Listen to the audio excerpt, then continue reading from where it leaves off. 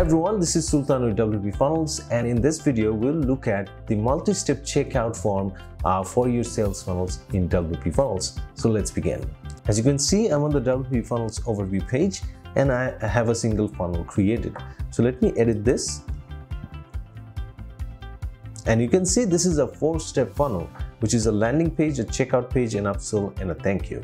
So uh, let me just select the checkout and preview this. And you can see this is how it looks right now.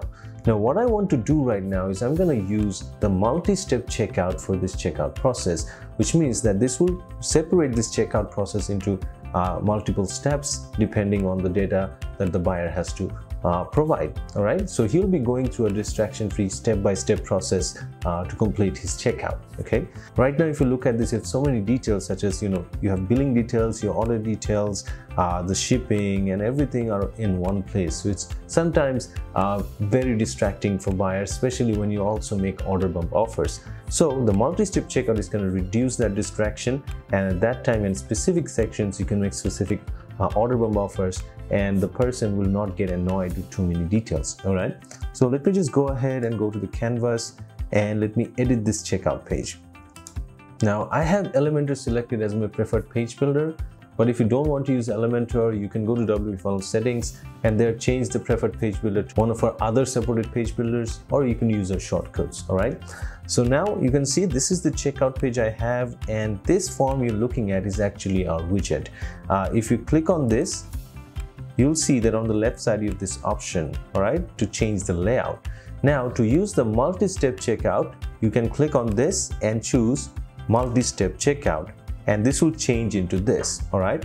Now click on update and there you go. Now my checkout page is saved uh, using the multi-step checkout. So now let me go to that uh, checkout page and reload this. And there you go. Now I have a multi-step checkout in place all right? So now let me go through this checkout process. Initially I have to give the billing information and uh, these are all pre-filled out because you know I have already used this once. Then we go to next. And now it's taking me to the shipping area. If I want to add a different shipping address I can enable this or I can just keep it as it is. And then go to next and it's going to take me to your order area. Here all I see is the order details and the option to choose my shipping options and my payment so in this case I don't have to look at all those other shipping and billing details here to confuse me all right so now I can go through the checkout and place the order so that's how easy it is to use the multi-step checkout in WP funnels. Alright, so in my next few videos, I'm also going to show you the other layouts we have for checkout and uh, you'll obviously love our express checkout layout. So yeah, thanks for watching this video. I'll see you in my next video. Take care.